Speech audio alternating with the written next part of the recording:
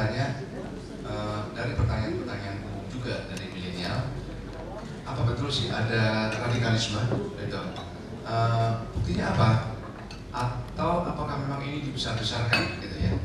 Uh, tapi kalau kita cermat saja untuk mengikuti berita, maka sebetulnya kita bisa, walaupun juga kita uh, yang saya jawab pada waktu itu, mungkin saya tidak melihat langsung, mungkin buat saya ini hearsay gitu. tapi kalau kita lihat berita-berita uh, oh itu ada kok uh, coba tadi yang tadi itu. Uh, sudah. Nah yang tadi. Uh, uh, paham khilafah di sekolah. Uh, kita lihat angka-angka di sini. Uh, 48,96 persen responden berpendapat bahwa pendidikan agama mempengaruhi mereka agar tidak bergaul dengan pemeluk agama lain. 48,95 persen. Uh, persentase yang tinggi. Uh, dan memberikan sebuah uh, apa uh, sebuah aturan uh, yang uh, uh, yang dulunya tidak pernah kita kenal itu agar tidak bergaul dengan pemeluk agama lain. 48,95 persen. Dan kita anggap kita normal kita biasa-biasa saja. Uh, ada sesuatu yang salah di sini. Di mana penyimpangan penyebab uh, sumber kesalahan itu. Di sini 58,5 persen responden memilih pandangan uh, memiliki pandangan keagamaan radikal. Dari mana ini? Mengapa mereka meloncat ke sini? Gitu. Uh, ini dari majalah Tempo. Uh, selanjutnya juga tiga uh, persen siswa tidak bersedia berteman dengan yang berbeda agama. Uh, ini dari mana dan ada apa ini? 4,5 persen siswa menganggap orang yang berbeda cara beribadahnya adalah kafir. Walaupun saya asumsikan di sini adalah dari agama yang sama. 0,7 persen siswa tidak akan menolong teman yang berbeda agama ketika tertimpa musibah. Nah ini tadi kepedulian, gotong royong, uh, ini sudah mulai rapuh di sini. Uh, satu siswa mendukung terorisme, tiga siswa membiarkan terorisme, lima siswa mendukung ISIS. Uh, di antara yang saya pernah baca, uh, pada tingkat pendidikan tinggi seorang mahasiswa ditanya kalau harus memilih antara Pancasila uh, dengan uh, dengan uh, apa uh, kekerasan uh, agama yang uh, bersifat kekerasan itu memilih yang mana, maka dia akan memilih uh, agama yang bersifat kekerasan dengan Al-Quran sebagai dasar negara. Mengapa? Karena jelas di dalam Al-Quran uh, tujuan yang ingin saya sampai apa? Untuk mencapai tujuan itu saya harus bagaimana? Larangannya itu apa buat saya? Pancasila itu tidak jelas. Nah ini uh, sebuah uh, sebuah wake up call untuk kita uh, menurut cara pandang mereka. Uh, bagaimana kita harus merespons pernyataan-pernyataan uh, seperti ini? Apa bedanya? Ada Pancasila dengan tidak ada Pancasila buat kita kehidupan sehari-hari dalam masyarakat. Ini membutuhkan jawaban yang konkret dan cukup uh, mendesak. 85 siswa tegaknya khilafah di Indonesia. Uh, apa salahnya dengan tatanan kenegaraan bermasyarakat berbangsa yang kita miliki sekarang ini? Apa salahnya? Sehingga mereka meninjau alternatif untuk mendukung tegaknya khilafah. Apakah mereka mereka tahu tentang sejarah uh, atau khilafah di dalam sejarah Islam. Mana contoh khilafah yang memberikan cerita sukses? Uh, kemudian uh, ini Wahid Institute, ini setara ini, ini Wahid Institute. 60% aktivis agama di sekolah yang tergabung dalam rohani Islam bersedia melakukan jihad ke Suriah. Untuk apa? Uh, dan kalau kita juga melihat bahwa ISIS sekarang itu uh, sudah uh, kalah dan kemudian mereka melihat Eh, kekalahan dan idealisme itu ternyata tidak ada, tetapi mereka tetap setia kepada uh, kepada idealisme jihad mereka. Nah uh, ini uh, ada apa? Uh, tidak semata-mata untuk mengatakan oh iya ya itu salah ya. Ternyata itu tidak bisa diwujudkan. Tidak, tapi mereka tetap setia kepada ideologi intoleran tersebut. 10% menyatakan bahwa serangan teroris di Jalan Tamrin, Jakarta pada tahun 2016 adalah perbuatan jihad atau perjuangan membela Islam. Uh, dari mana uh, persepsi ini dapat 6% mendukung kelompok negara Islam Irak dan Suriah atau ISIS. 6% mendukung ISIS. Kemudian dari uh, Survei Pusat Pengkajian Islam dan Masyarakat Universitas Islam Negeri Syarif Hidayatullah Jakarta uh, sampai pada temuan 5,95 persen guru memiliki opini yang sangat radikal secara efisien. Ini guru ini, sehingga 5,95 persen ini mudah sekali digandakan terhadap murid-muridnya. 2,58 persen memiliki opini yang sangat radikal secara implisit terkandung uh, dan tidak dibukakan mungkin dan 4,56 persen guru bersedia melakukan aksi yang sangat intoleran bersedia melakukan aksi gitu. dia tidak berpikir tentang risikonya dan uh, apa uh, yang dia langgar sedangkan 33,21 persen guru bersedia melakukan tindakan intoleran 33,21 persen jadi kita mencoba untuk mencari, uh, untuk membaca apa sih artinya ini semua, mengapa ini semua terjadi, dan mengapa tiba-tiba ini bukan tiba-tiba memang, tapi sekarang sudah menjadi begitu besar angka-angka ini. Lantas uh, uh, apa yang harus uh, kita perbuat, apa yang bisa kita perbuat? Uh, pertanyaan mungkin yang agak lebih jauh adalah bisakah ini kita kembalikan ke normal masa lalu, atau harus kita menghadapi mencari normal baru? Uh, a new normal. Uh, do we have to live with a new normal?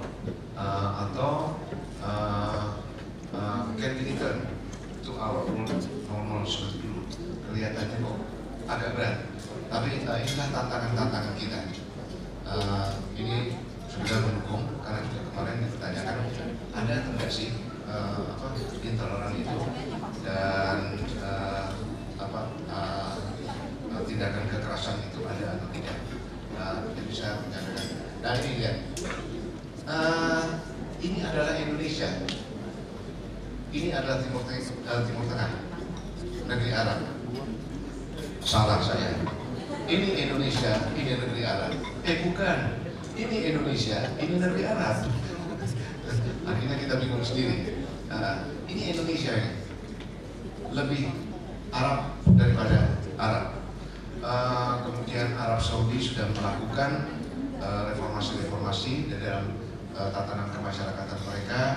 Uh, kemudian uh, juga beberapa hari yang lalu saya juga uh, melihat di dalam berita uh, CNN Qatar yang akan menyelenggarakan kejuaraan sepak bola dunia tahun 2020 itu akan menyelenggarakannya yang bisa katakan itu berjanji menjamin akan diselenggarakan secara inklusif. Perempuan boleh nonton, pakaian tidak ada dress code, semuanya serba terbuka. Itu negara Timur Tengah. Ironinya kenapa justru kita bergerak ke arah ini?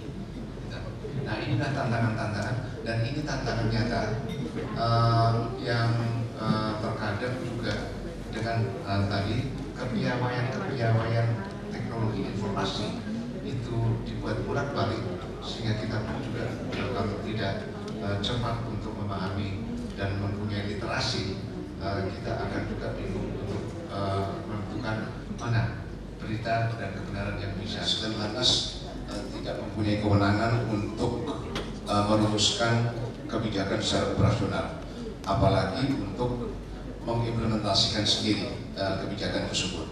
Lemhanas punya fungsi uh, peran dan kewenangan untuk melaksanakan uh, kajian strategis dengan uh, tadi Ibu Deputi atau Ibu Deputi uh, pengkajian strategis. Jadi kalau misalnya uh, bagaimana kebijakan uh, untuk merespon sesuatu fenomena uh, itu bisa dan biasanya itu menjadi uh, menjadi topik untuk dibahas uh, di Lemhanas. Tetapi uh, itu diserahkan kepada pemerintah sebagai rekomendasi untuk pemerintah dan nanti pemerintah yang akan melaksanakan uh, Lemhanas tidak punya kewenangan untuk melaksanakan secara operasional. Kemudian beberapa catatan tadi itu adalah uh, SMA Bulungan itu hari Sabtu Minggu itu olahraga atau musik gitu ya.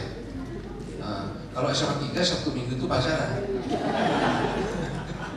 Kayak Mas Adi.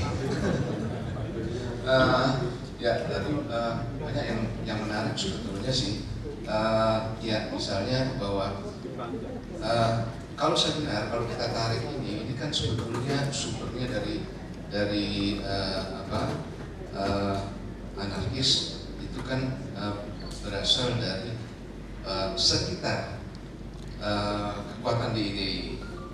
Nah, uh, pada waktu itu uh, diradikalisasi terasa uh, cukup efektif untuk dilaksanakan karena masih berada pada sistem politik otoritarian yang tidak memungkinkan keluar kebijakan-kebijakan ataupun kegiatan-kegiatan yang sifatnya alternatif. Nah, ternyata juga asumsi itu tidak sepenuhnya benar karena begitu kita memasuki demokrasi yang harus dibuka, maka ini juga meledak semuanya. Jadi sebetulnya juga keterbukaan kita sekarang itu adalah hasil dari sukses kita melaksanakan demokratisasi. Memang akan terjadi uh, uh, apa, uh, lomba cepat antara penguatan institusi politik dengan aspirasi-aspirasi yang ada di dalam masyarakat. Dan penguatan institusi politik itu uh, kita cenderung untuk kalah. Tidak dikatakan bahwa kita memang kalah uh, uh, dalam kesempatan itu.